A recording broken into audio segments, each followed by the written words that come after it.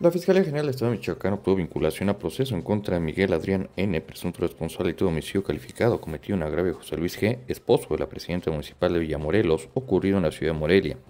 Pasado 5 de agosto, José Luis se encontraba en compañía de su hija a bordo de un vehículo sobre la calle Samuel Ramos, la colonia Centro, cuando fue sorprendido por dos hombres, entre ellos el investigado, quienes lo amagaron con un arma de fuego y le exigieron que bajara de la unidad. Sin embargo, la víctima solicitó que dejaran bajar a su hija, por lo que fue privado de la vida. Tras el homicidio, los responsables se dieron a la fuga, por lo que se notificó el hecho a la Fiscalía. Luego de establecer la posible participación de Miguel Adrián N. en el homicidio de José Luis, el agente del Ministerio Público de la Unidad Especializada para la Investigación del Homicidio Doloso y Feminicidio solicitó orden de aprehensión en su contra, misma que fue complementada en días pasados. En audiencia, Miguel Adrián N. fue vinculado a proceso, además se le fijó prisión preventiva oficiosa y se estableció un plazo de cuatro meses para el cierre de la investigación complementaria.